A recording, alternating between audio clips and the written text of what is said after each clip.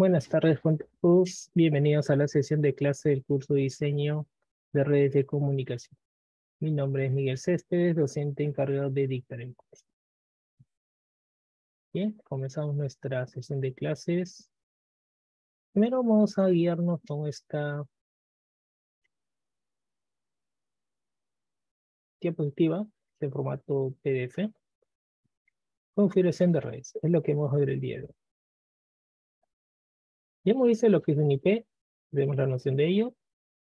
Un IP es una dirección, es un número que identifica a una computadora que esté asociado al protocolo IP, protocolo Internet, de una red.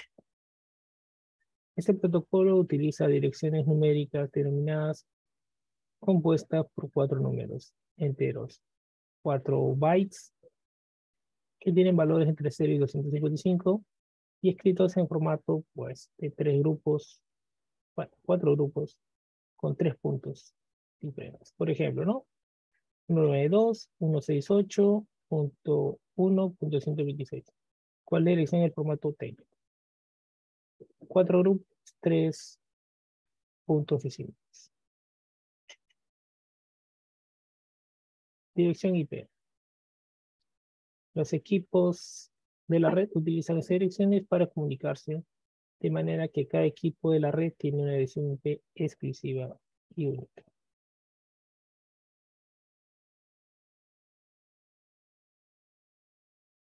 dirección IP. Una dirección es una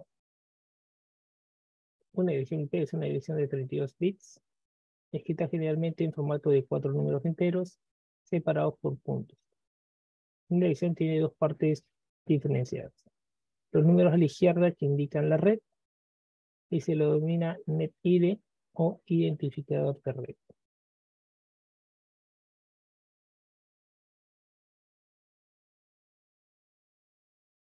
Dirección IP.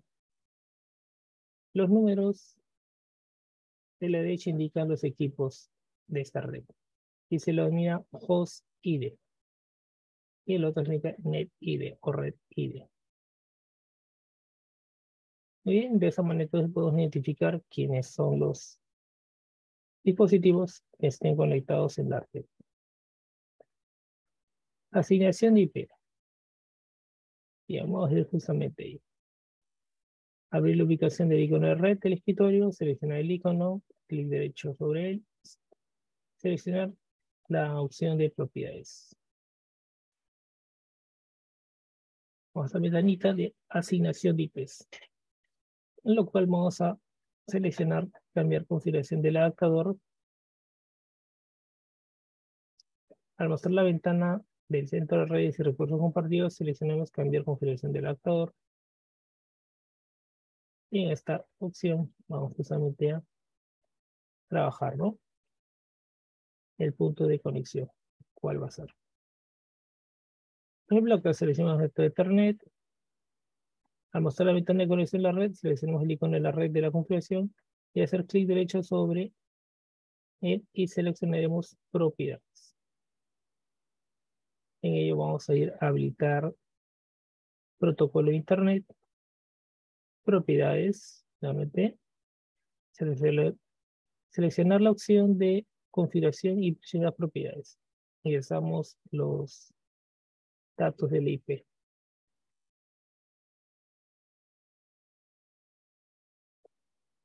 Bien, y por aquí tenemos la IP automática o podemos poner IP estática usando usar la siguiente configuración. Como este caso, ¿no? Asignar dirección IP. Una vez ingresados los datos en dirección IP, presionar aceptar. Y con ello estaríamos configurando nuestra respectiva red.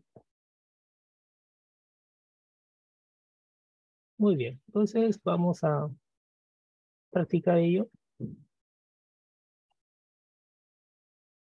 Para ello me voy a ayudar solamente de una máquina virtual para proceder a hacer el ejercicio.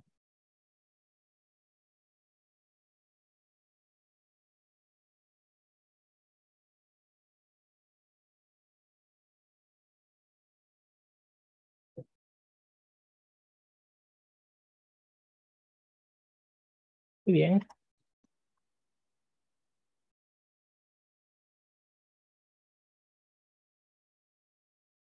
Esa es la máquina virtual que usualmente suelo trabajar.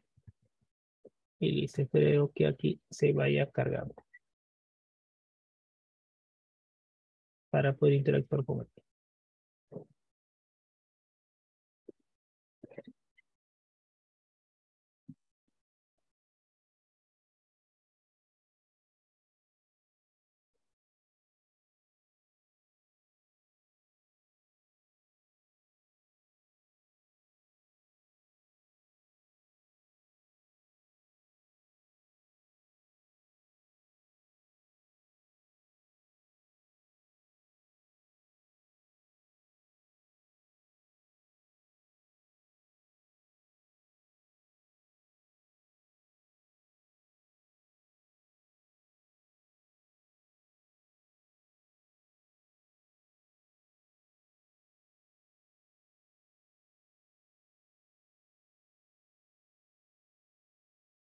Muy bien, entonces estamos aquí en la máquina virtual para proceder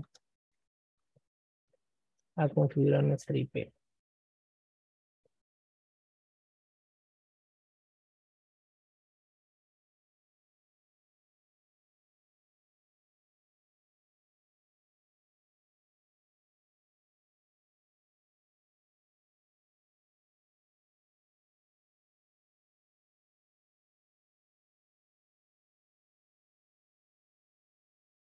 Bien, entonces vamos a ir primero a nuestro panel de control.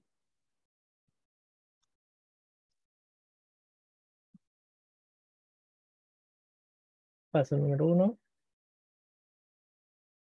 Y ahora lo que vamos a hacer es buscar nuestros sitios de, de red.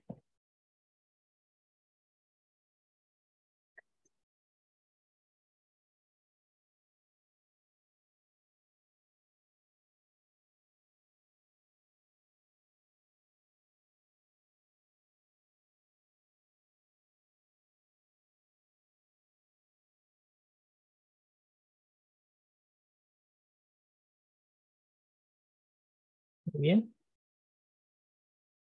Vamos a aquí a nuestro sitio de red. Redes, centro de redes y recursos compartidos. Muy bien, en esta ventana vemos varias opciones, la cual vamos a elegir cambiar configuración del adaptador. Bien, nos deriva esta opción, esta ventana. Muy bien. En esta ventana lo que vamos a hacer nosotros es seleccionar justamente la unidad que corresponde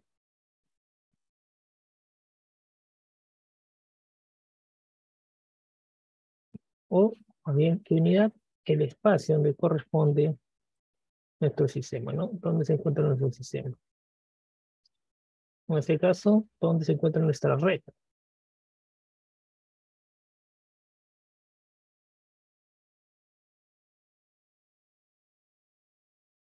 Bueno, en este caso puede variar, ¿no? Yo trabajo con una red alámbrica o una red inalámbrica. En mi caso trabajo con una red alámbrica, entonces pues voy a buscar la opción de Ethernet. En este caso. Bien, Ethernet es donde va a estar justamente la opción que deseo. Eh, trabajar, interactuar.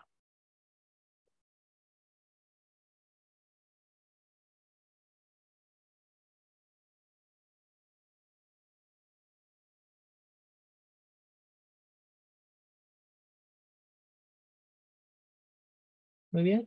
Clic derecho. Propiedades sobre esa unidad.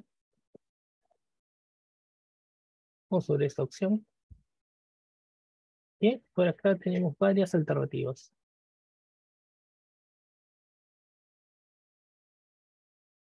De acuerdo, vamos a orientar en habilitar protocolo de Internet versión 4. Esa es la opción que nos importa habilitar protocolo de Internet versión 4. Propiedades. Listo. Entonces por acá tenemos lo que se denomina la IP dinámica o la IP automática que nos va a generar. Bien. La IP automática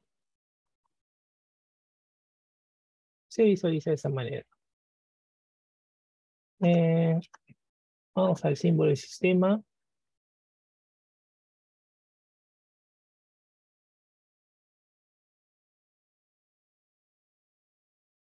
Bien. El símbolo del sistema lo que vamos a hacer es lo siguiente. Vamos a digitar por aquí IP config. IP config.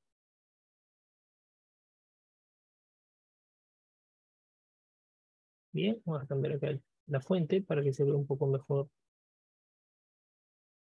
la información que estoy digitando.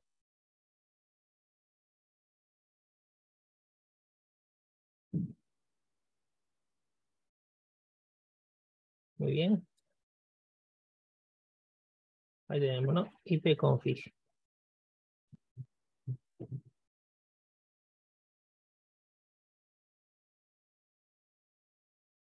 Bien, enter. Y por acá nos va a brindar justamente la información requerida. Bueno, me brinda que la IP de esta PC es la 192.168.2.128. Es el SMP. Bien. Vamos aquí a compartir una captura de ello.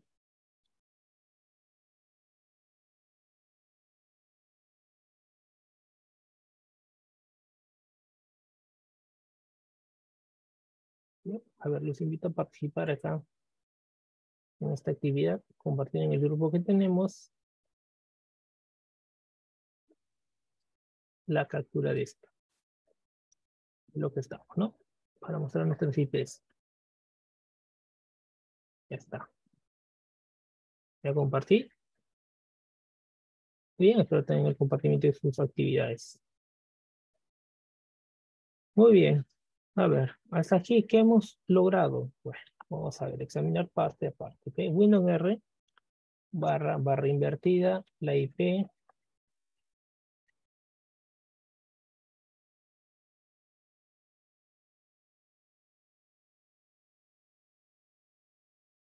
de IP nuevamente, la captura, aceptar. Nos llevaría esta ventanita. De igual manera, procedo nuevamente a la otra captura, compartir.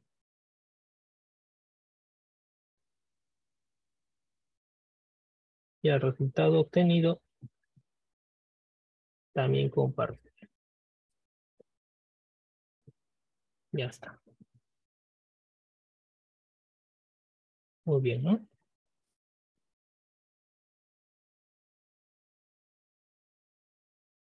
Bien, podemos cambiar con la opción de usar la siguiente dirección IP. Podemos poner IP diferente, 192.168.0.10, por ejemplo.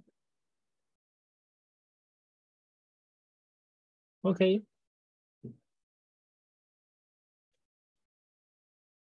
Voy a cambiar esta dirección. Igual manera. Lo voy a compartir en el grupo. Y aceptar. Cerrar. Listo. A ver, ¿qué sucede aquí? Pues cuando vuelvo a darle IP config a esto, me muestra el IP. Pero IP tiene dos cosas. Uno,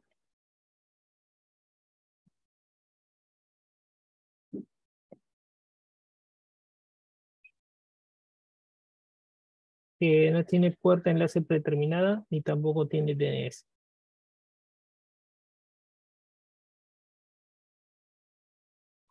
Y esto genera por defecto que no se tenga acceso a Internet. Bueno, solución, clic derecho, propiedades nuevamente. Propiedades. Es que es lo correcto trabajar dentro de la red que indica. 92, 168, 2, 1, por ejemplo, un DNS. 1, 1, 1, 1. Y por acá Vamos a ver cuál es el DNS que uso mi ordenador.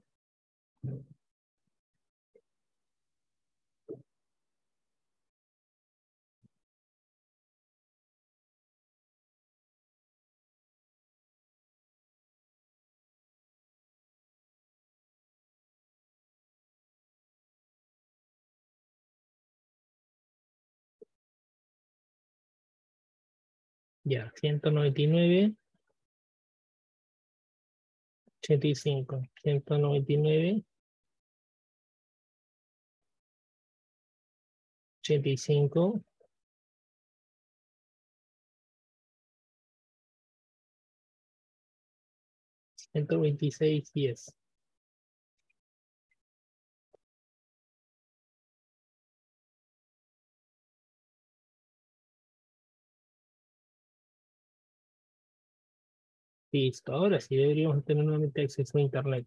Vamos a ver.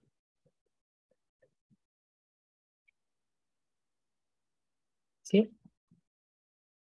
Correcto, red por acá. No me confirma todavía.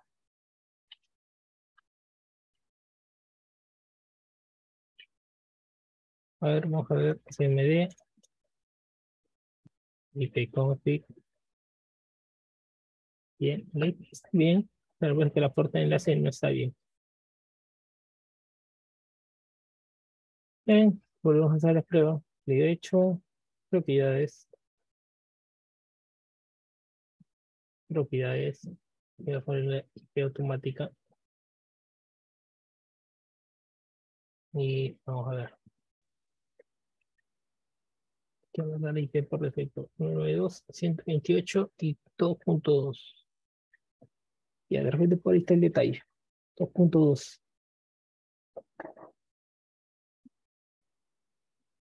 Vamos a ver.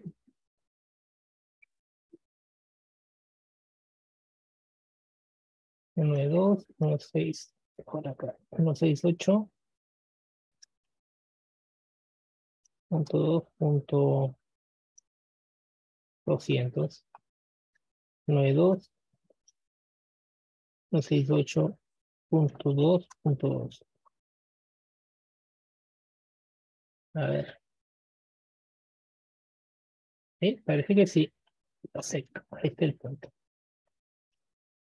¿No? Ahí está el punto. Eh, respecto a la forma de enlace que nos brinde o que nos dé.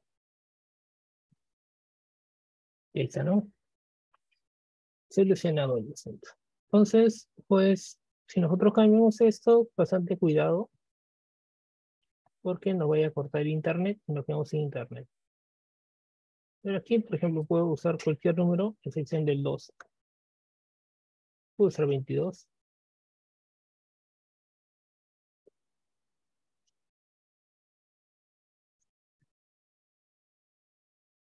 ipconfig. Y ahí está, ¿no? Bien, así va cambiando nuestro IP.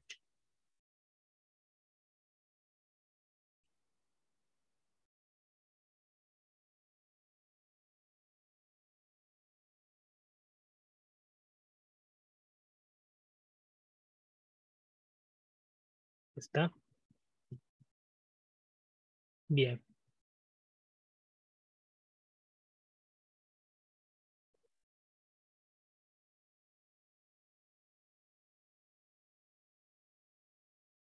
Ok. Entonces, les invito a que hagan algún cambio. Necesariamente tengan que aceptar.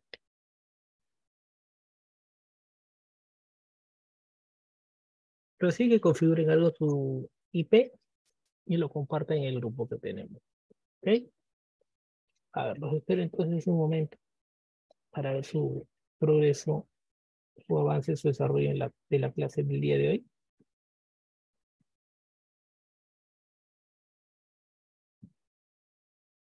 A ver, ¿quién gusta enviar sus facturas?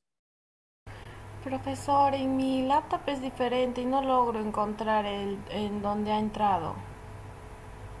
Ya, a ver, vamos a ver ello.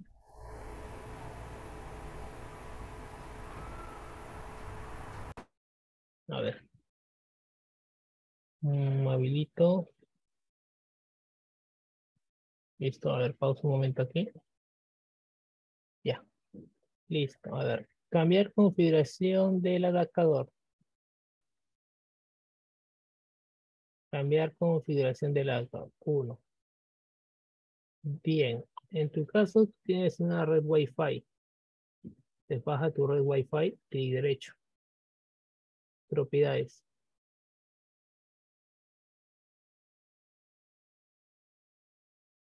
¿Sí?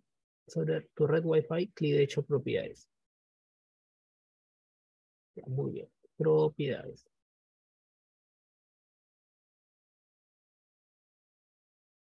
Espera que cargue la pantalla. Ve a, la 1, 2, 3, 4, 5. Quinta opción, protocolo internet versión 4, paréntesis TCP, slash IP V4, cierra paréntesis. Ahí, cliquea. Sí, dale un clic, dale un clic. No, no lo, no lo deshabilite, dale un clic. No, no, no, no. Solo seleccionalo, correcto. Otra vez, propiedades. Propiedades dice abajo. Abajo. Ahí está. Clique ya, listo. Antes que cambies algo. Vamos con calma. Vamos con, tal como dice el ejemplo. Antes que cambies nada. Presiona Windows R. Déjalo eso ahí, tranquilo. No le hagas nada. Déjalo ahí. Windows R. ¿ya? Ahí digita C M D. C M D. Aceítale o enter.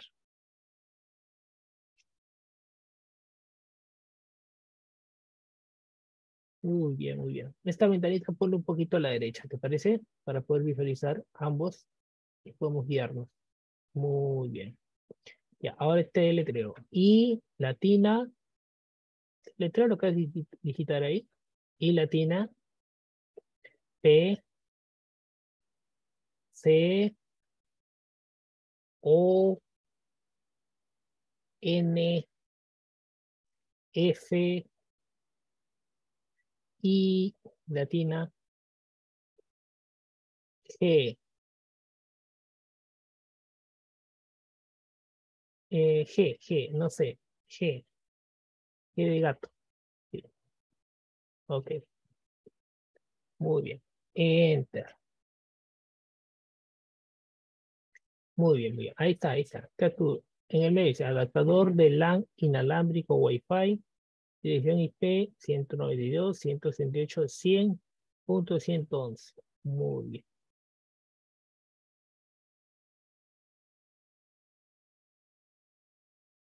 Lo importante que aquí son tus tres numeritos. 192.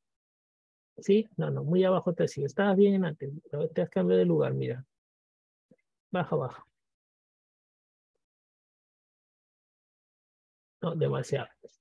Estaba bien antes, no sé por qué lo moviste, ya, no des, has desequilibrado todo. A ver, mueve con el mouse, pero despacio con el mouse. Con ello no, con el mouse, con el mouse. Eh, porque eso avanza muy rápido.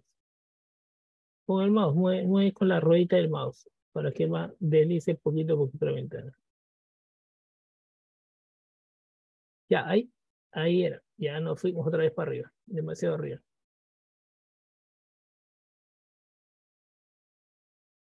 A ver, vamos ahí con mucha calma, ¿ok? Sigue, sigue, sigue.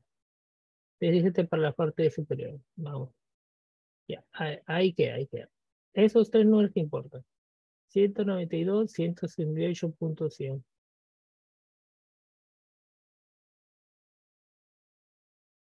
Bien. ¿Ok? 192, 168.100. Listo. Vamos a la ventana del costado.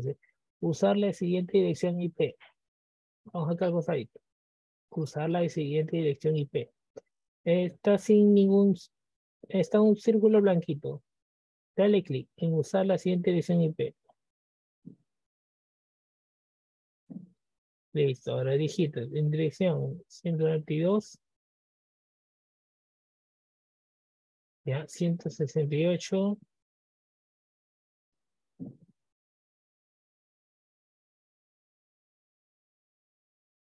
Bien, eh, casi es 100. 100. Al costado era 111. Bueno, como bien sabes, puedes tomar cualquier valor entre 1 y 254. Pero el 1 está ocupado, el 100 está ocupado. Bueno, tomo otro valor. A ver, ¿qué valor propones?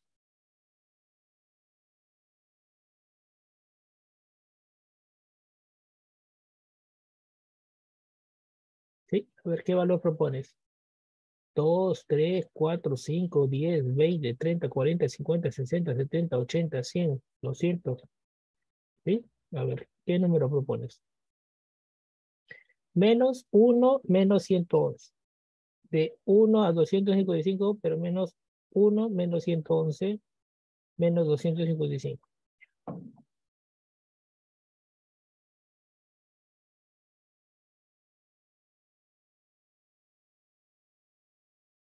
Ya, 233, muy bien. Está bien, muy válido. Clique en máscara de su red.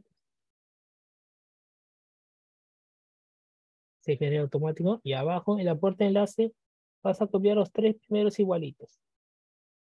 192, 168 y 100.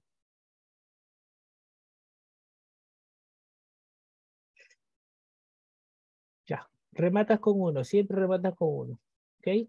Uno en el DNS, abajo escribe 1, 1, 1, 1.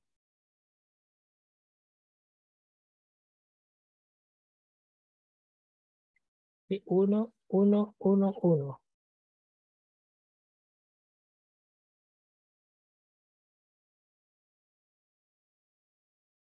Y ahí es 199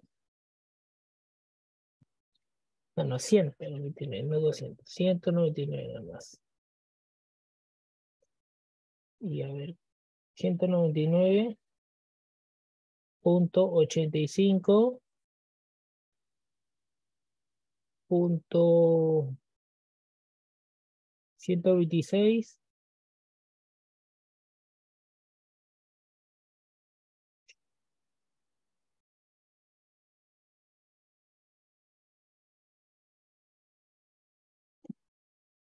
No, no, no, no que te confundo. Te repito, 199. 85.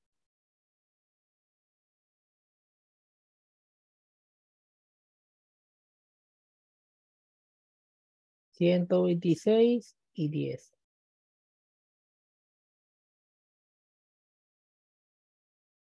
Bien, validar configuración a salir. Aceptar. Ya, por lo que ves, si es en internet, si es en la red, dale cerrar. Cerrar la ventanita.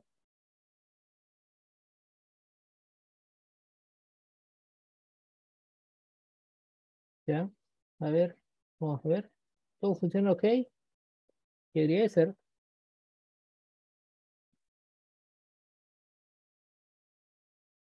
Ya, ciérralo. Listo, quiere decir que tu configuración está ok. Porque si no estuviera ok tu configuración, te saca del internet. No, podrías eh, estar en clase. Si me hubiera equivocado y tener que volver a un modo automático. Y eso era dirección IP.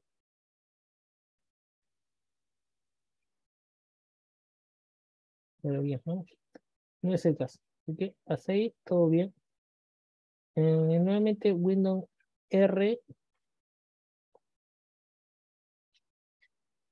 CMD está bien CMD IP config acepta IP config.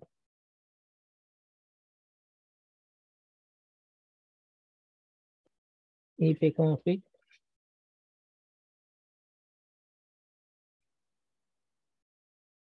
Y ahí está el IP, ¿no?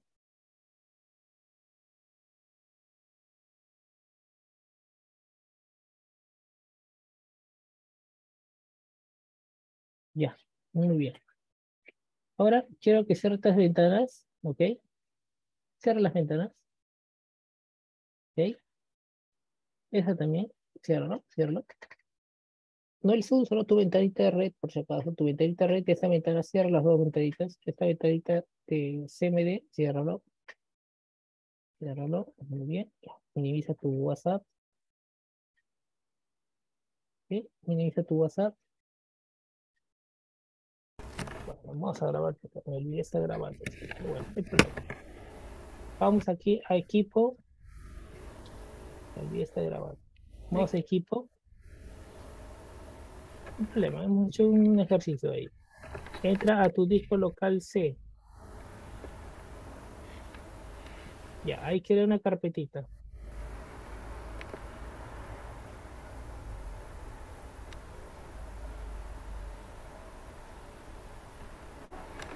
Ya, esa carpeta ponle, un nombre. A ver. Mm.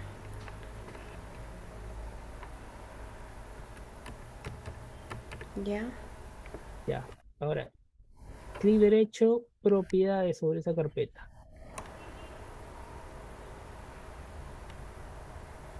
Ya, esa carpeta primero vamos a personalizarle con un icono para que se pueda diferenciar de las demás carpetas. Arriba, arriba, ese, a la parte derecha, personalizar. Cambiar icono. Listo. Listo, le dieron un icono, aceptar. Y ahora vamos a ir a otra vez clic derecho, compartir. Clic derecho, propiedades, compartir. Mm. compartir, no tiene compartir. Propiedades, propiedades.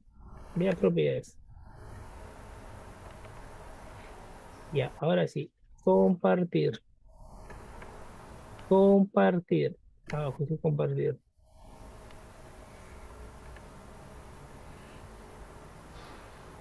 Llega ahí, al costadito que parece una V al lado de agregar.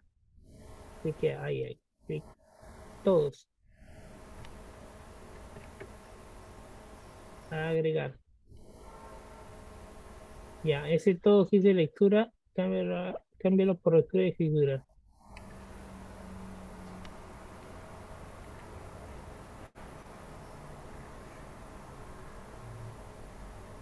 Ya está. Ya, ahora sí, compartir. Eh, sí, sí, sí, de detección. Ahora, listo. Ya está. Eh, listo, ahora cerrar. Ya está. Ya, ahora cierra la ventanita. Y ahora presiona Windows R. Muy bien, ahí presiona al 92, tecla al 9 y 2. No, no, al, tecla al, al. Antes de la tecla al y 9 y 2. Al 92, al 92.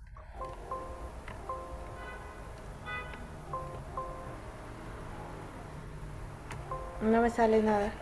Ya, ok. Te comparte con el chat, a ver, para que lo copies y pegues nada más. Ya está, ahí está. Te compartí las barras invertidas. En el chat. Copia y pégalo el chat.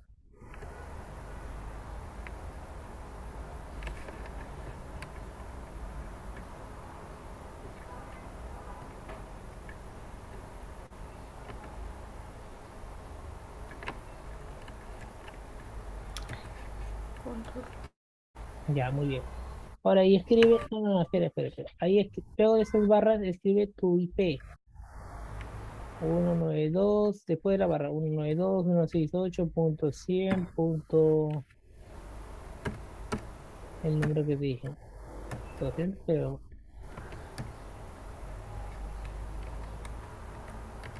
Así ah, claro. ¿Ya? Eh, ¿Era 203? Eh, no era, era 233 creo. Ya, pues a ver, adelante, acéptale. Nada más, ¿verdad? Y nada más aceptaría ver más. Sí, 233, 203.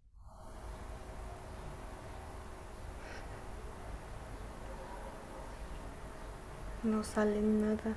Ya. Nada, me da lo mismo, pero con 203.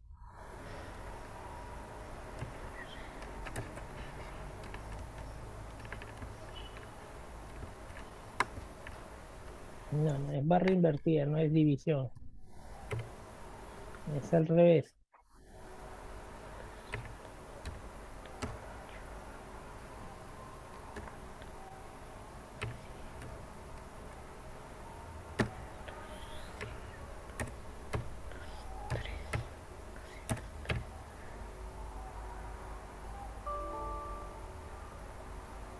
Tampoco. Ya, a ver. Claro, es que es barra invertida, está puesto división, no es división. Ah, Ese es el punto. A ver, borra eso. Listo, congela por lo otro. Ahí está. Ahora sí, listo. Bien, con esto tú puedes a tu propia carpeta que has compartido. Ujú. Muy bien. Ahora, vamos al siguiente punto. Ve a lo que es equipo, este equipo.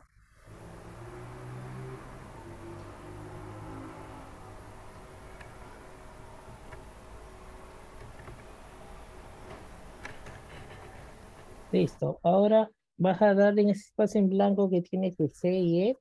Clic derecho. Ahí. Clic derecho. Propiedades. Muy bien. Ahora vas a ir a la opción que sea configuración avanzada del sistema. que es el cuarto escudito que está al lado izquierdo. Ya, muy bien. Ahora vas a ir a donde se llama nombre del equipo. Arriba, arriba, nombre del equipo. Ya, ahora vas a cambiar ese nombre, cambiar abajo. Ya, ponle un nombre. A ver, ¿qué nombre? ¿Podría ser mi nombre? Claro, ponle tu nombre si gustas. Mm, Ya. Silvia. Ya está. Ya, pero no le pongas eh, espacios, no le pongas espacios, solamente un nombre. pues, Punto. Sí, Ya. o junto. Ya, pero no dejes espacio.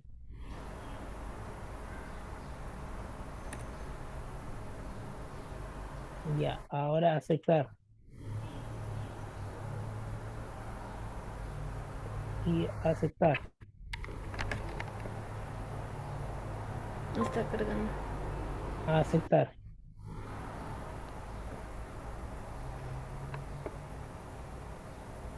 Ya está. Bien, ahora dale clic en cerrar. Ya, ahora vas a tener que reiniciar, la atención, cuando reinicia se va a pausar la grabación, ¿sí? Ya. Profesor, eh, acépteme desde mi celular, por favor. Bien, a ver. Ya puesta nuestra IP. Aceptar. Cerrar. Cerrar. Cerrar. Vamos a averiguar el nombre de nuestra PC. Windows E. Equipo. Propiedades. Mi PC se llama Ángel, en este caso. Muy bien. Que procedería a hacer es lo siguiente. Un R, barra, barra, el nombre del ordenador, como se llame. Enter. Listo. Y esto, igual que el IP, nos debería de enviar a la carpeta que tenemos. Bien. En este caso me falta compartir información, pero debería de enviarnos a la carpeta.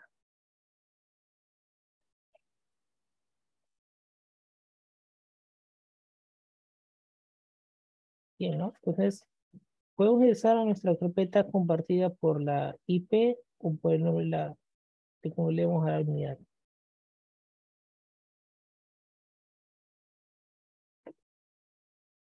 Muy bien. Entonces aquí vemos el comportamiento de cómo compartir una carpeta, cómo realizar ese proceso.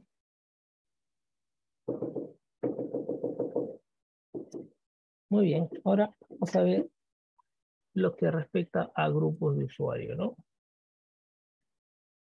A ver. Bueno, para ello, a ver, quiero por aquí un momento. Vamos a ver un video que me explique mucho más a fondo lo que los grupos de usuario. Usualmente no solo trabajar con grupos de usuario. Y si configuraría también, pues no, no llegaría muy, muy a fondo porque tendría que realizar tal caso mis dos sistemas operativos. Y pues complicaría bastante el desarrollo del tema con eso. A ver, entonces por aquí. Grupos de usuarios Windows 10. A ver, si acá nos especifica un poco más, mucho más a detalle los grupos de usuarios. A ver, sistemas operativos monousuarios, creación de usuarios, mm, movilizar administración de usuarios, grupo de usuarios Windows 10, administración de usuarios, a ver. Esto me parece que está, este me parece que es el punto. Vamos a administrar usuarios, bien. Pero voy a compartir pantalla con audio. A ver, vamos a ver qué tal nos va con esto. Pero también el audio. Sí, también el audio. También el audio. A ver, vamos a ver este video. A ver que nos enseña mucho más a detalle.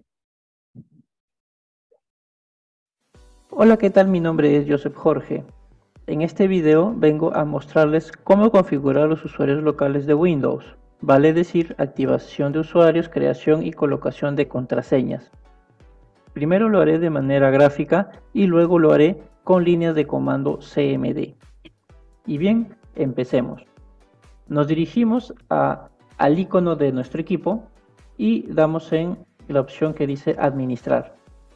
Una vez que estamos dentro de administración de equipos, nos vamos a esta opción que dice usuarios y como verán, este es el usuario actual que está en funcionamiento. Si nos vamos al, botón de inicio, este es el usuario llamado usuario que estamos en ejecución en este preciso momento. Para poder crear otro usuario, simplemente le damos un clic derecho y seleccionamos usuario nuevo. Vamos a colocar el nombre del usuario, vamos a colocarle un usuario cualquiera, llamado José por ejemplo, y le damos en crear cerramos y aquí ya nos podemos fijar que aparece ese usuario. Ahora, el usuario que recién se crea por defecto es un usuario sin derecho de administración. Por lo tanto, para poder otorgarle permisos de administración, voy a darle clic derecho y voy a la pestaña que dice miembro de y le doy en el botón que dice agregar.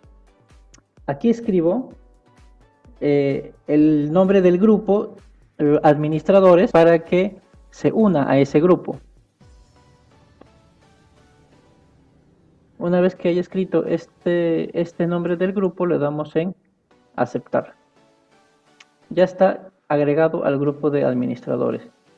Simplemente le damos a aplicar, aceptar y el usuario José ya se convirtió en un usuario administrador. Un usuario administrador básicamente es un usuario con permisos elevados. Para, por ejemplo, lo más solicitado es la instalación de programas. Para verificar que ese usuario José está activo realmente, mm, podemos cerrar sesión de este usuario llamado usuario y nos vamos al usuario José que se ha creado. Como ven ya está apareciendo este usuario José, así que le damos clic aquí. Como es un usuario nuevo, vamos a colocarle una contraseña. Yo le voy a colocar una contraseña vacía. Voy a dejarlo vacío para que por defecto este, ingrese a ese usuario. Se cambió tu contraseña, le doy a aceptar y ahora sí iniciamos sesión. Como es un usuario nuevo, eh, va a tomar el proceso de activación de Windows 10, que eso toma alrededor de unos minutos.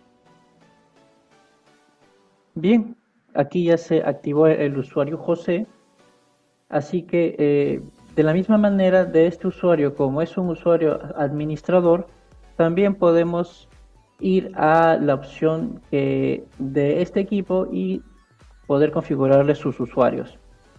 Eh, como vemos aquí no está apareciendo el icono de, mi equipo, por lo tanto le doy clic derecho, personalizar, eh, voy a la opción temas, configuración de iconos en el escritorio y le doy un check donde dice equipo, para que así pueda aparecer. Entonces aquí le doy clic derecho, administrar, eh, me dirijo a usuarios y grupos locales me voy a usuarios y este es el usuario José que actualmente está eh, activo. Bien, ahora vamos a pasar a la activación del usuario administrador. Todo Windows tiene un usuario administrador. Usualmente siempre está desactivado. Lo que vamos a hacer ahora es simplemente activarlo. Le damos clic derecho, propiedades y desmarcamos este check que dice la cuenta está deshabilitada. Para activarlo solamente le sacamos el check y le damos en aceptar. Ahora está ya activado y por tema de seguridad yo siempre recomiendo al usuario administrador colocarle una contraseña. Así que le damos nuevamente clic derecho, establecer contraseña, le damos continuar y acá escribimos la contraseña. Vamos a escribirle 1234 y aquí abajo 1, 2, 3, 4 también. Le damos a aceptar y ya se cambió el usuario administrador. Como pueden ver ya tenemos tres usuarios actualmente. El usuario administrador obviamente por defecto ya forma parte del grupo administradores. Y así como el usuario José, podemos ingresar a ese usuario administrador dándole clic en este botón.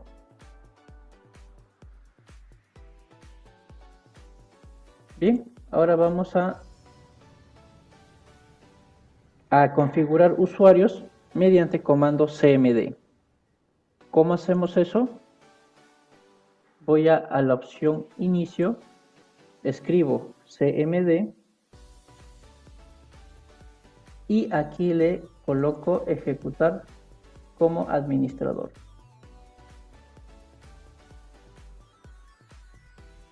En esta pantalla negra vamos a colocar los comandos cmd, o sea, no vamos a dar clic derecho por el estilo, solamente vamos a codificar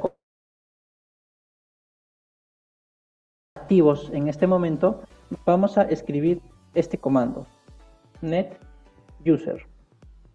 Al escribir net user nos va a aparecer la lista de usuarios activos en este momento. Como podemos ver, está el usuario administrador, estos dos usuarios que siempre están inhabilitados, al usuario José y al usuario llamado usuario que iniciamos. Yo en este momento voy a crear un usuario, eh, no sé, llamado Pedro, por ejemplo, con el siguiente comando. net user eh, Pedro Eh, le coloco una clave, por ejemplo 111 espacio slash add. Con este comando yo estoy ingresando al usuario Pedro con la clave 111. Si deseamos que este usuario Pedro no tenga una clave, simplemente borramos eso y quedaría net user el nombre de usuario slash add le damos enter y nos dice que eh, se ha completado el comando correctamente. Ahora, si digitamos nuevamente netuser, va a aparecer este usuario llamado Pedro. Pero, por defecto, todo usuario que recién se crea es un usuario simple, no es un usuario administrador. Lo que vamos a hacer es convertir a ese usuario Pedro como un usuario administrador. ¿Y cómo hacemos esto? Con el siguiente comando. net local group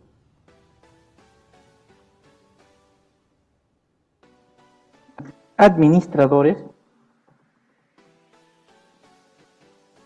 eh, el nombre del usuario llamado Pedro y slash add. Cabe mencionar que este Windows es un Windows instalado con el idioma español. Si es que el Windows que tienes es un Windows instalado de manera inglés, el grupo obviamente también se va a llamar en inglés. Administrators se va a llamar. Como en mi caso es un equipo en español, va a quedar como administradores.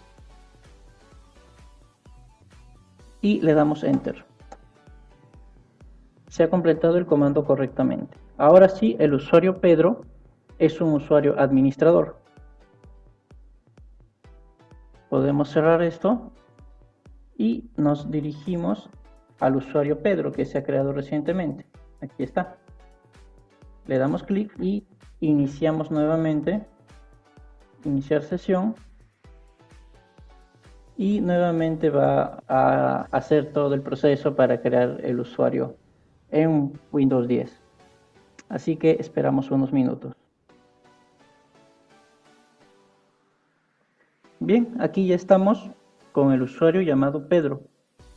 Aquí está. Ahora, este, voy a cambiar de usuario, voy a ir directamente al usuario llamado usuario, que es nuestra sesión inicial. Así que vamos a cerrar estas cuentas llamada Pedro y la cuenta que se ha creado después llamada José. Cerrar sesión. Y al usuario José también le cerramos sesión.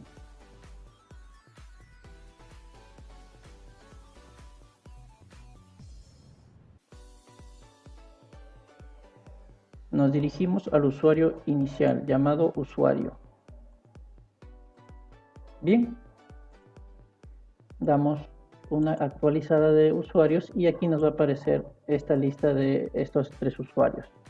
Ahora, como por defecto el usuario administrador siempre está inhabilitado, vamos a inhabilitarlo de manera temporal para poder habilitarlo eh, con, con los comandos cmd le damos check en donde dice la cuenta está deshabilitada y le damos aceptar. Así, así va a aparecer de manera inicial. Ahora vamos a activarlo con los comandos cmd. Escribimos cmd, damos clic derecho, ejecutar como administrador y aquí vamos a activarlo con el siguiente comando. net user administrador espacio slash active dos puntos yes. Con este comando yo estoy activando de manera positiva a este usuario llamado administrador. Le damos enter y nos dice que se ha completado el comando correctamente. Ahora hace un rato al usuario administrador lo hemos este, deshabilitado. Vamos a ver si es que ya se habilitó usuarios y grupos locales, usuarios, y aquí como vemos ya está habilitado.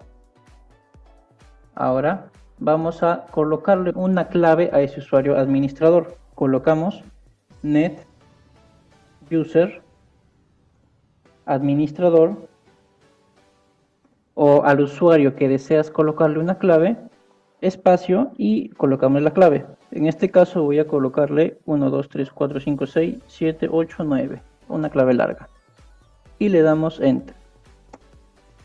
Nos dice que se ha completado el comando correctamente.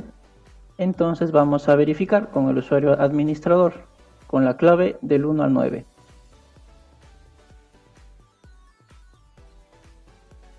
vamos a usuario administrador. Y nos está pidiendo clave. Vamos a colocar la clave que hemos ingresado. 1 2 3 4 5 6 7 8 9 aquí está. Y le damos en iniciar sesión. Nuevamente como este es un usuario que recién se está in minutos que toma de tiempo. Como ven ya hemos ingresado. Entonces eh, eso sería la activación configuración de usuarios locales en Windows Bien, ese ha sido todo por el día de hoy. Agradezco su atención y no olviden apoyarnos dejando un like a este video y suscribiéndose a nuestro canal para poder sacar más contenido de utilidad. Somos Infosistemas JK para apoyarlos en todo temas de informática. Conmigo será... Bien. A ver, interesante con lo que respecta a su, a su tema.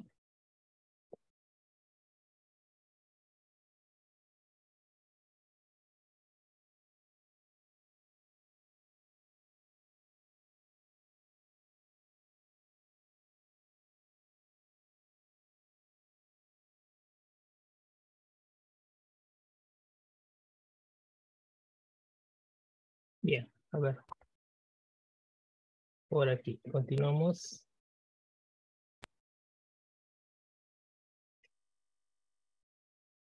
Respecta a nuestro ejercicio de hoy.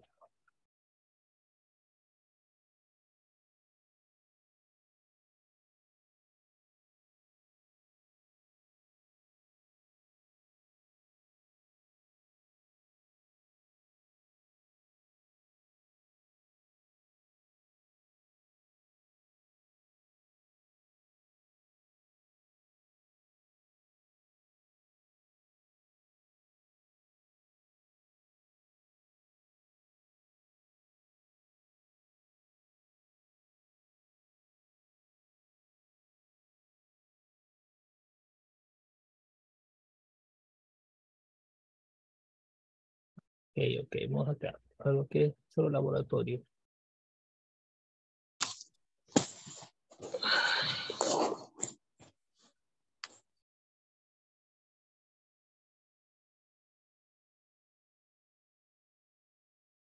Bien, a ver, nuestro laboratorio consiste en lo siguiente. Primero, identificar el Windows, ¿no? Windows 10 virtual, ok. La IP. ¿Cuál es la IP de esta máquina?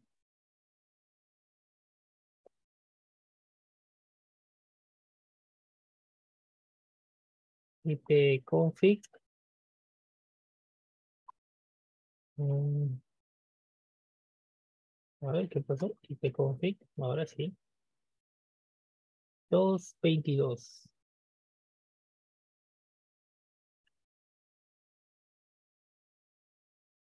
IP config 222. Listo. Ahí está. La máquina virtual. El nombre obviamente se llama Ángel.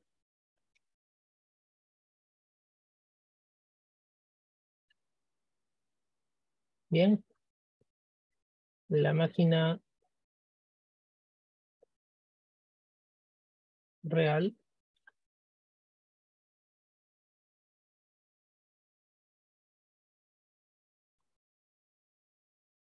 ¿Cómo se llama? A ver.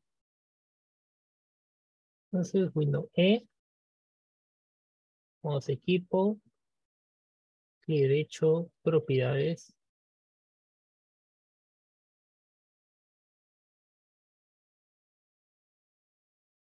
Vamos a configuración avanzada del sistema. Nombre del equipo, PC licenciado.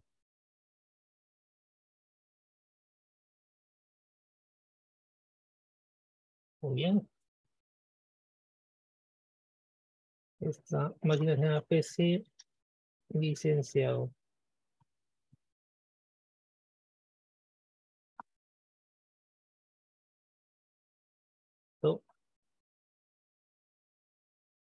La IP que lleva esta máquina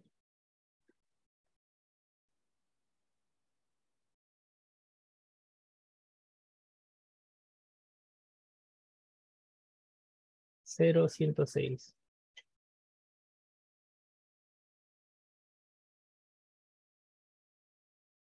Listo. Ya está.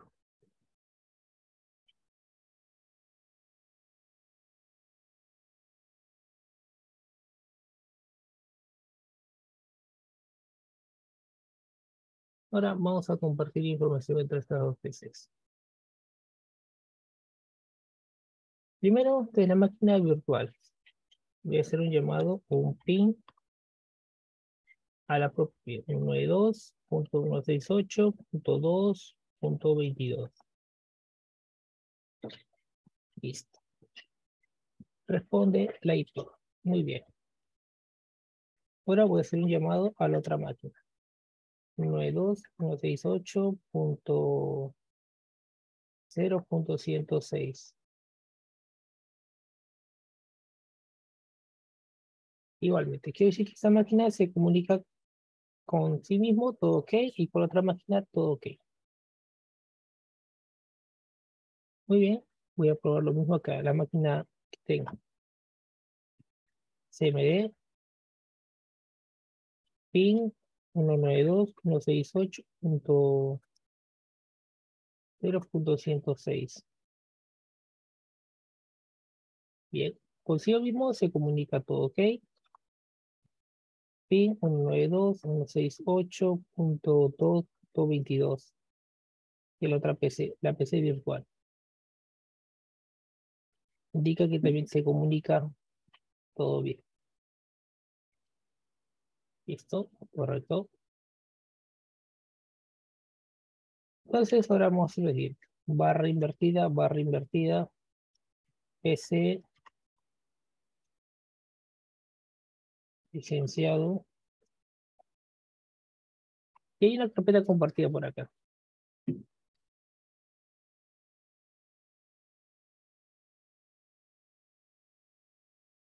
R barra barra, vamos a el nombre de la PC que es Ángel. Y por aquí no hay nada compartido.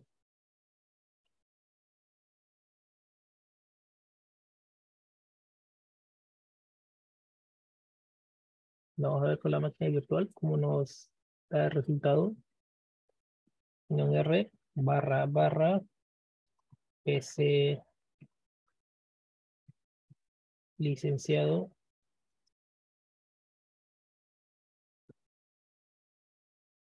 Igualmente ingresa todo ok. Y quiere decir que sin duda PC Ángel debe ingresar sin ningún problema. ¿No? Hoy comprobamos que todo funciona correctamente. Todo con lo que respecta a nuestra red.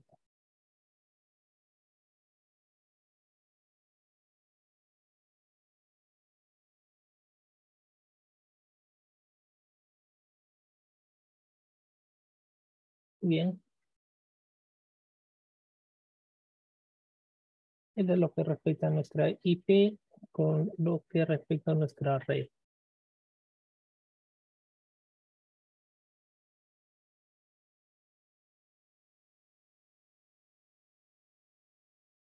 Bien, a ver, se va a cambiar el nombre de este equipo. Windows Pausa.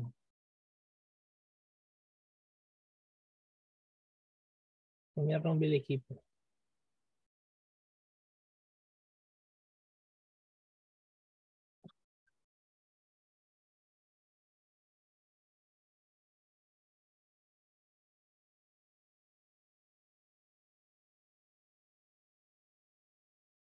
Bien, para qué no me a cambiar el nombre.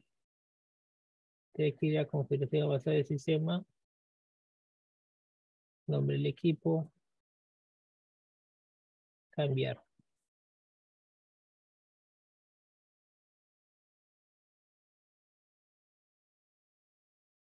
Aceptar.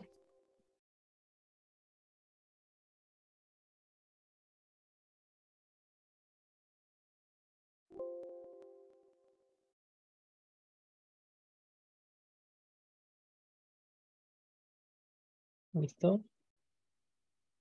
Aceptar y proceder a reiniciar. Ya, ahí estamos. Primer, paso, primer punto.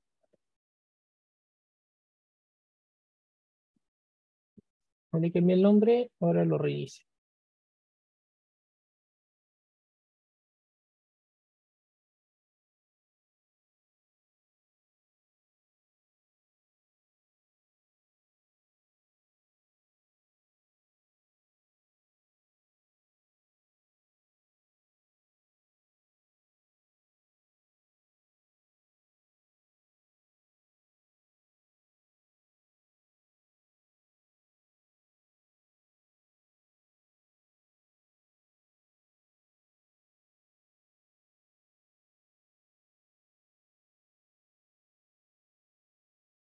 Listo, a ver, el nuevo nombre. Ese-abajo, el y funciona correctamente.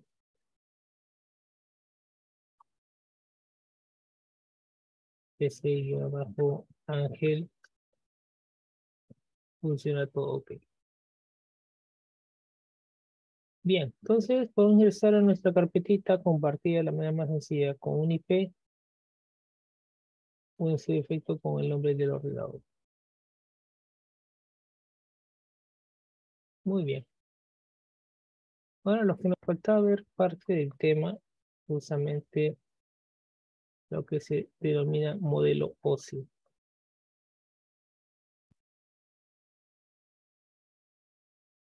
Modelo OSI y TCP/IP.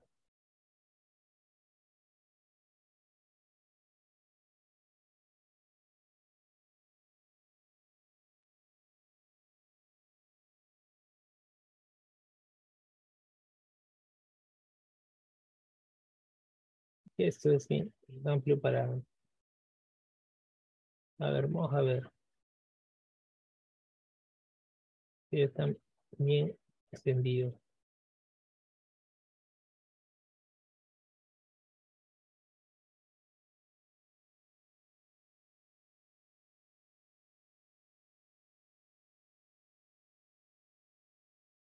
A ver, vamos a ver este video.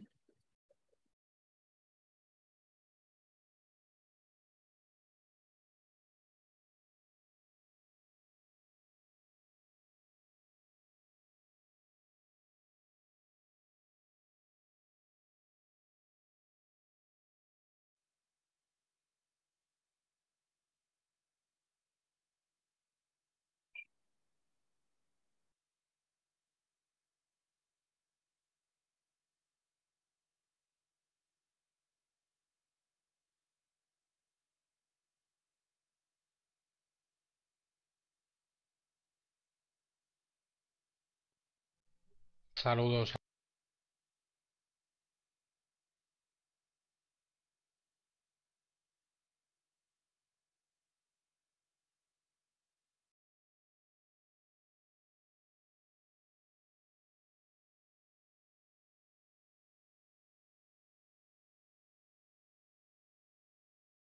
a todos y a todas. Hoy, como podéis observar, vamos a ver eh, las dos o los dos modelos eh, de niveles de red que nos podemos encontrar actualmente. Uno es implementado, uno está, eh, como todos sabréis, en funcionamiento, que es el TCP/IP. El modelo OSI, que mm, todo el que haya tenido un poco de contacto con redes habrá oído hablar de él, que es un modelo eh, de referencia. Es el modelo de, de referencia más conocido, más famoso y que se generó para mm, poder eh, solucionar tanto problemas de, red como poder implementar protocolos y servicios eh, independientes y sin que afectara eh, que por ejemplo pudiera ser de un fabricante diferente el dispositivo o, cualquier otro tipo de, de cuestión eh, son independientes del hardware eh, sobre el que trabajan, etcétera. Para eso se, generaron estos, modelos. En particular, el modelo OSI eh, derivó realmente del modelo TCP/IP. Como veis, genera algunos añadidos. más que añadidos, parte en trozos un poco más específicos algunas partes, como podéis ver la zona o el nivel de aplicación y, el nivel de acceso de red de TCP/IP que en el caso del modelo OSI como podéis observar eh, está en el enlace de datos y el nivel de, capa física.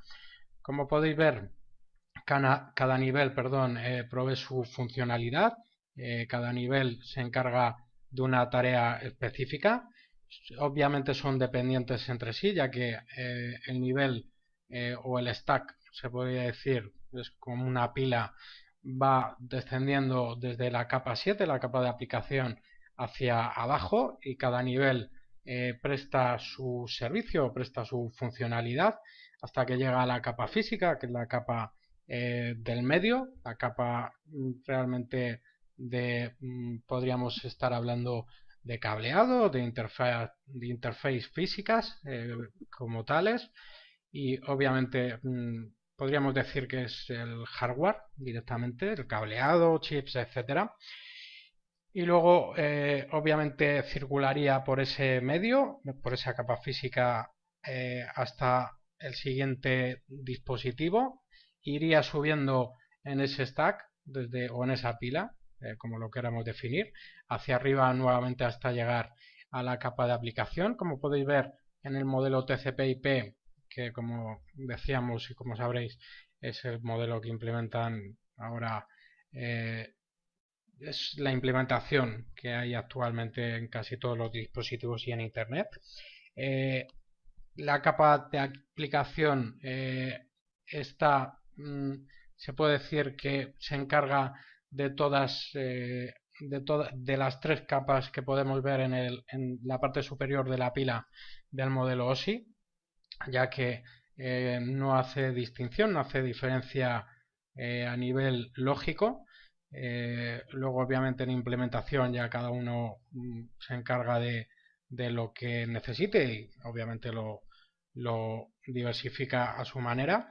Pero como podéis observar en el modelo OSI, si se, si se definen esos, esos tres niveles superiores con más, más específicamente, eh, más que nada para, hacer, eh, como decíamos, un ajuste más preciso tanto a la hora de los fabricantes o los desarrolladores de protocolos eh, generar sus protocolos de manera más, más precisa, como obviamente a la hora de, definir mm, o reconocer dónde pueden encontrarse diferentes fallos o, diferentes problemas en, un, en, una, en una red. Y como podéis observar, eh, como decíamos, empezaríamos en la capa de aplicación, que es la capa superior, que es la interfaz más directa eh, con, el, con, la persona que está manejando el dispositivo. Podríamos hablar que en un host, en un ordenador común, eh, las capas están implementadas las siete capas, ¿vale? Porque empezamos desde la aplicación, que podría ser, por ejemplo, un navegador web, eh, cualquier servicio de los que implementa hasta la capa física, que es cuando ya llega eh, a la tarjeta de red y desde ahí es, eh, emitida o transmitida. y obviamente mm, pasando por dispositivos intermedios estaríamos hablando de capas superiores.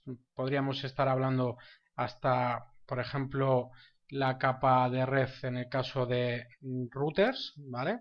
que se encargan de, enrutamiento, etcétera, como capa 2 eh, o capa de enlace de datos eh, en el caso de los switches, ya que se encargan de enrutamiento eh, de direcciones más físicas. como podéis ver, en ese tipo de dispositivos llegaría hasta esos niveles y eh, también eh, comentaros que cada mm, capa tiene su, propia PDU, su propia unidad eh, de protocolo, que es una unidad definida para proporcionar nombre en ese momento a esa unidad de, de, datos que está circulando en ese stack, en esa pila de arriba hacia abajo. En los tres primeros niveles de la capa OSI estaríamos hablando de la PDU propia de cada nivel, de esos tres niveles. Estaríamos hablando de la PDU de aplicación, PDU de presentación y PDU de sesión.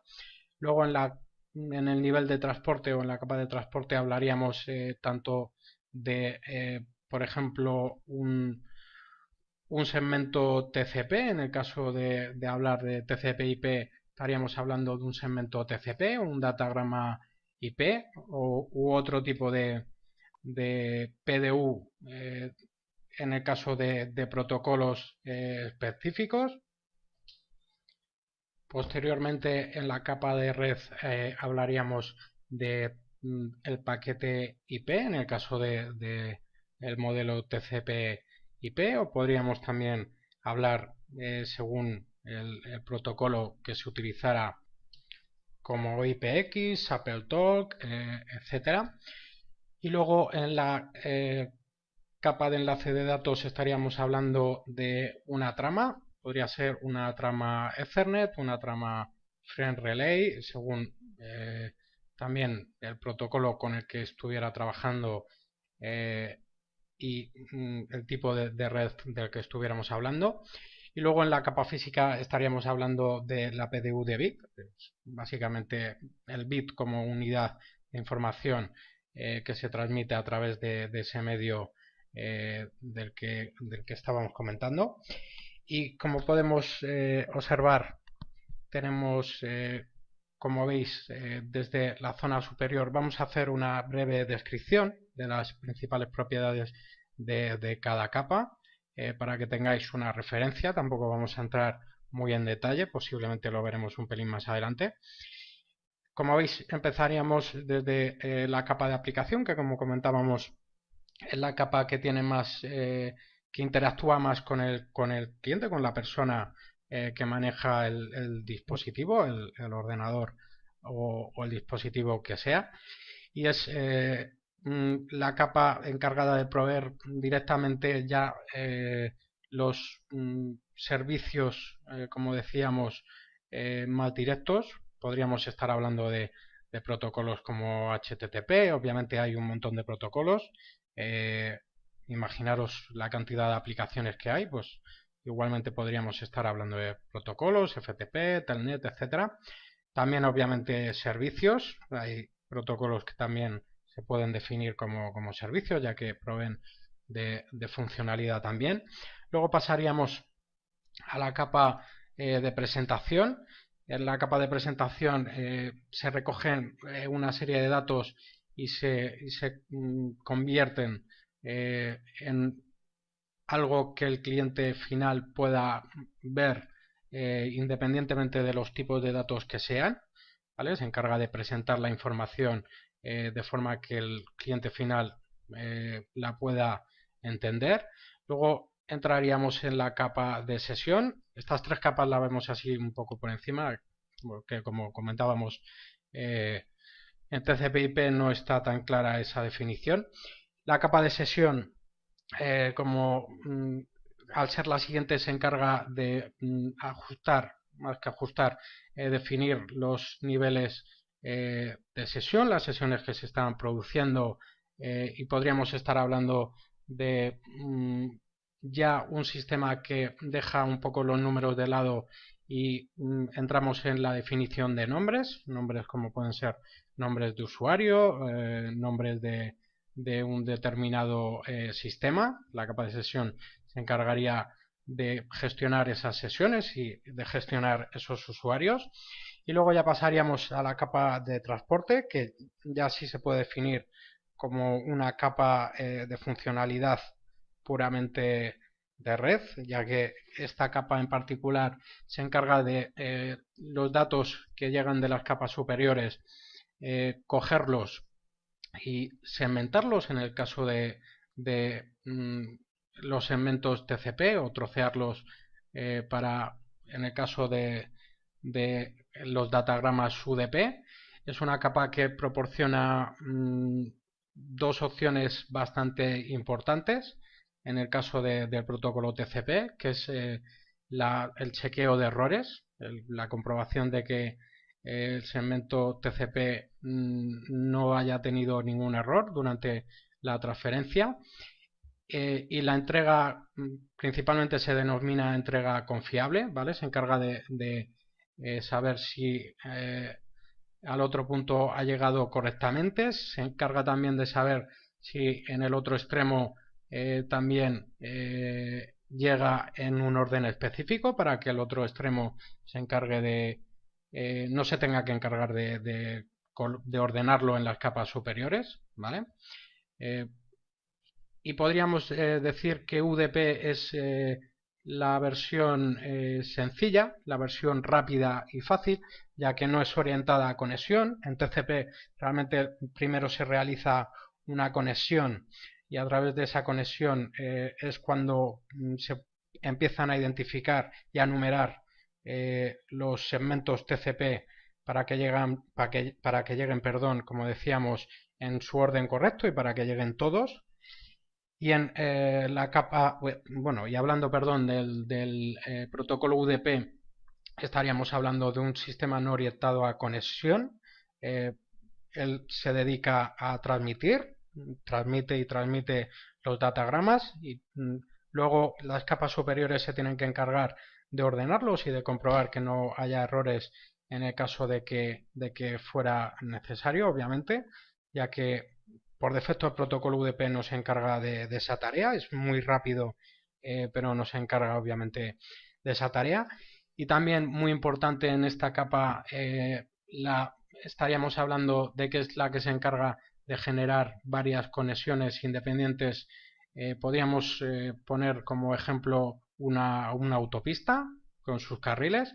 ¿vale? Pues cada carril sería una conexión de un programa en particular con su mm, puerto específico. Esta capa también obviamente se encarga de gestionar todo el tema de, los puertos eh, y generaría canales, cada canal eh, con derivado obviamente de su conexión específica y, con un puerto asignado para poder mm, eh, mezclar, por así decir, la definición es multiplexar toda esa información, todos esos datos que vienen de las capas superiores y ordenarlas. Imaginaros que tenemos eh, dos streaming de vídeo en funcionamiento y mm, son de dos eh, vídeos diferentes. Si la capa de transporte nos encargará de, separar esos dos streaming eh, o no sé, mm, más que de separar, de multiplexar, no se podrían transmitir los dos streaming a la vez ni recibir y obviamente también se mezclarían con lo que estaríamos viendo trozos de un vídeo y trozos del otro.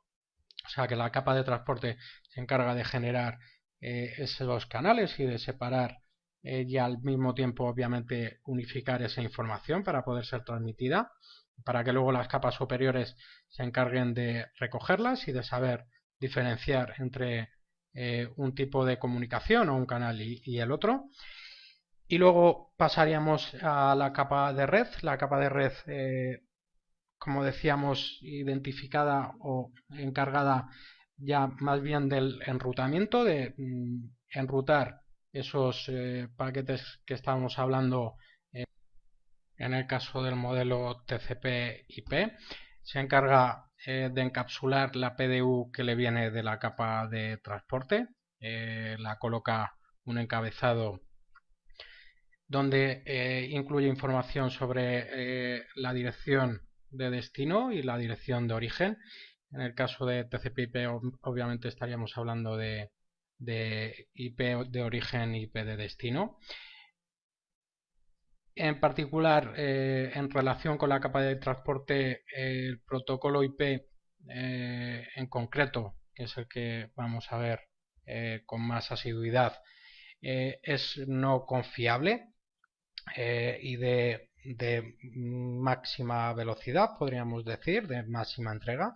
¿vale? Es un protocolo diseñado para transmitir muy rápido, al igual que, el protocolo UDP, y no genera eh, conexión ni, ningún, ningún, ningún tipo de, esa tarea de, para eh, obtener ese tipo de funcionalidades eh, tendríamos que aportárselas desde la capa de transporte en caso de que fuera necesario. Imaginaros de que en un momento dado necesitamos eh, confirmación de entrega y, obviamente que lleguen eh, a su destino en un orden determinado los datos, pues se encargaría o nos tendríamos que encargar de habilitar o transmitir la información a través del protocolo TCP desde la capa de transporte para que ese nivel se encargara de, esa tarea ya que si lo hiciéramos por UDP, a no ser que se encargaran las capas superiores, eh, tanto la de aplicación en el modelo TCP/IP como las tres en el, del modelo OSI, si no se encargaran estas capas tendríamos eh, datos obviamente eh, descolocados y que no tendríamos confirmación de que estuvieran todos entregados. Así que la capa, el protocolo IP de la capa de red se encarga de, como decíamos, transmitir información lo más rápido posible, eh, sin molestarse, como hablábamos, de saber si llega ordenado y si llegan todas, todos los datos a su destino. Esta capa también es independiente del tipo de medio que se esté utilizando, del tipo de medio ya sea, por ejemplo, eléctrico mm, sea fibra óptica eh, o inalámbrica. Esta capa no, se preocupa de eso, ya que se preocupan las capas inferiores. Eh, y eso sí, eh, en particular, una de las comunicaciones que mantiene con la capa de enlace de datos es para configurar o gestionar cuál va a ser la MTU, la, máxima unidad de transporte que luego van a, transmitir eh, para saber qué tamaño va a tener eh, esa unidad posteriormente. Y básicamente eh, de eso se encarga la capa de red. Luego pasaríamos obviamente a la capa de enlace de datos a la capa 2 el nivel 2 del modelo OSI que como veis en el caso del modelo TCP/IP está unido está junto lo que es la capa de enlace de datos y la capa de física. Eh, esta capa de enlace de datos también mm, provee de encapsulación eh, y lo que hace es encapsular la PDU que viene de la capa de red y añadirle un encabezado y un tráiler. Y con esto lo que hace es proveer a las capas superiores eh, y permitirlas conectarse con el medio. Eh, además de eh, darles control y también proveer de la capacidad de control de errores de la capa física, ¿vale? Se encarga de, comprobar a través de dos métodos como CSMA, CD o detección de, colisiones y CSMA CEA o prevención de colisiones eh, de que no se produzcan eh, obviamente esas colisiones de las que estamos hablando, de que no transmitan varios dispositivos a la vez y, se mm, y choquen esos choquen en el medio esos bits, esos eh, esos impulsos que pueden ser eléctricos, etcétera. esta capa también se encarga de colocar eh, de hacer una comprobación de errores eh, gracias al tráiler eh, que lleva, ya que implementa también un sistema con un checksum que luego es comprobado en el destino. Bueno, en el, destino y en, en los pasos intermedios. Y obviamente ya eh, desde ahí, aparte de, eh, estaríamos hablando, eh, como decíamos, de, la trama, de la trama, como hemos comentado antes, la PDU se denomina trama en la capa de enlace de datos.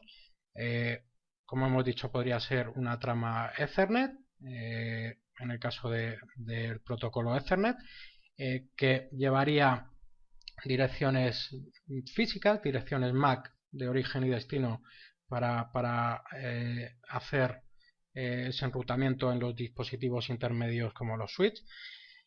O eh, en el caso de que fuera por ejemplo punto a punto o friend relay etcétera llevaría sus propios datos de, direccionamiento.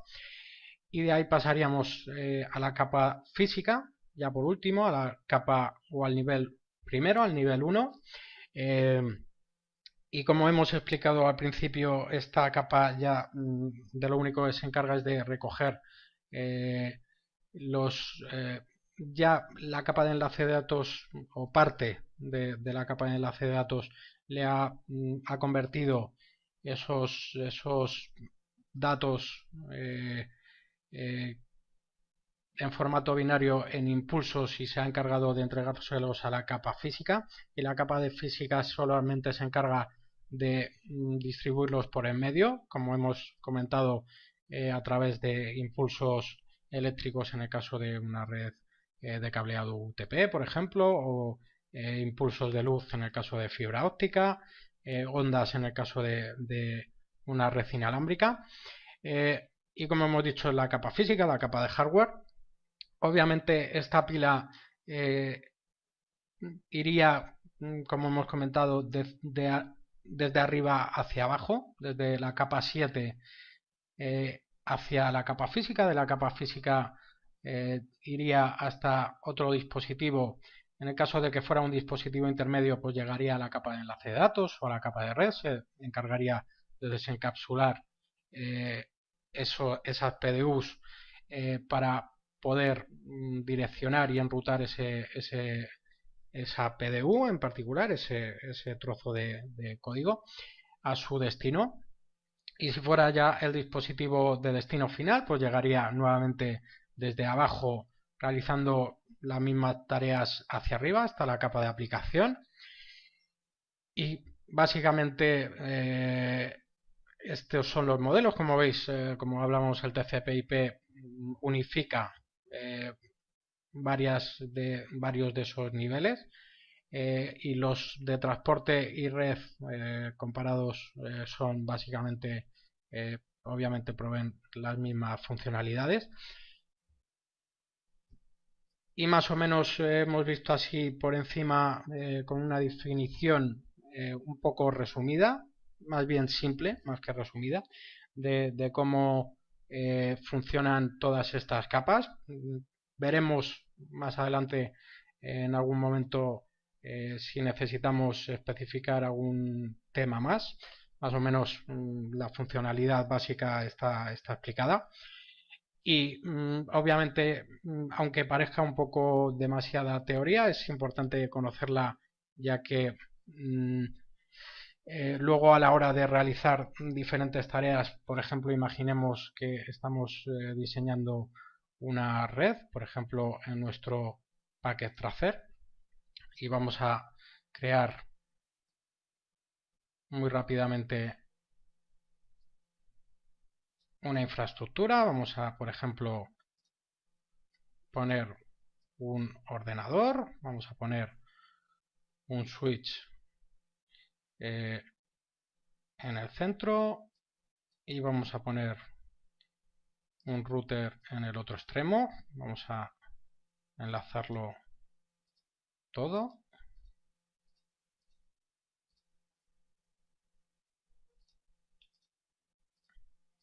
Y vamos a habilitar en el router la interfaz. Como ya hemos visto en capítulos anteriores.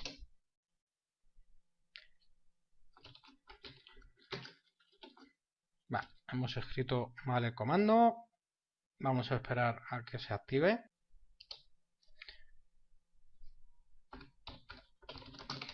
Vamos a entrar en modo de configuración, en la interfaz.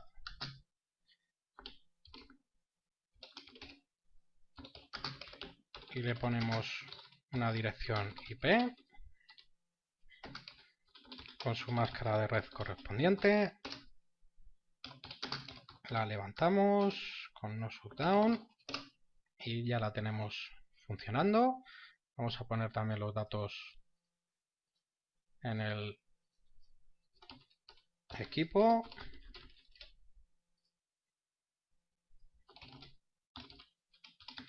Como ya sabréis como gateway la dirección de la interfaz del router. Y ya tenemos ahí conectividad. Vamos a hacer un pin. Vamos a como veis pulsar en el icono de simulación. Y pulsando en el ordenador vamos a hacer como decía un pin a la dirección IP del gateway.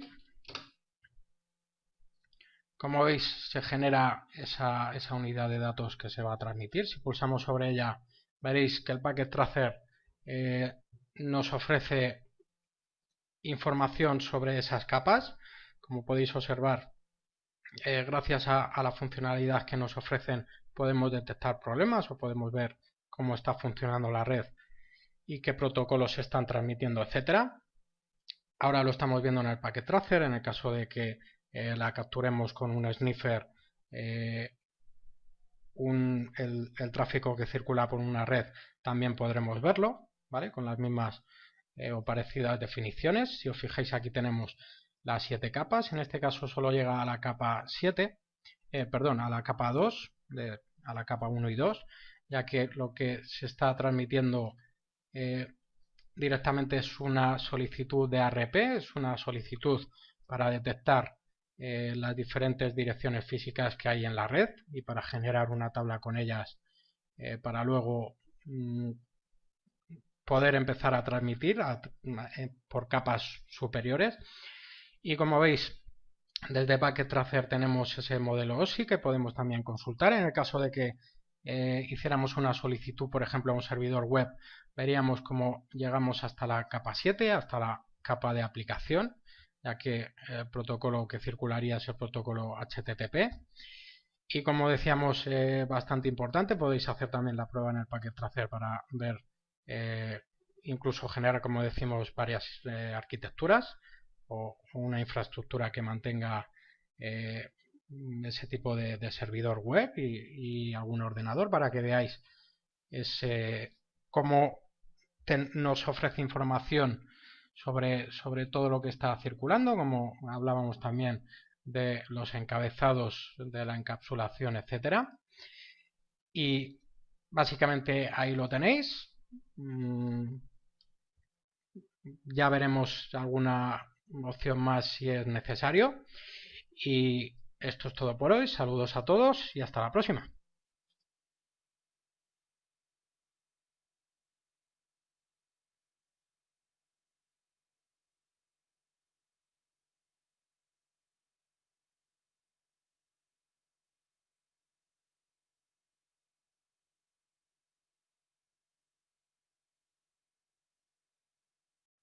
Hola, ¿qué tal? Bienvenidos una vez más a mi canal de YouTube, Eliezer de León, a sus órdenes. Hoy vamos a aprender sobre el... Bien, ok. Entonces vemos un pequeño video, ¿no? Con lo que es el TCP/IP, que pues trataba de explicar dicho tema con ustedes. Bueno, bien, entonces hasta este punto vamos a cerrar por hoy nuestra sesión de clases Gracias a todos por su atención. Próxima semana, el examen final.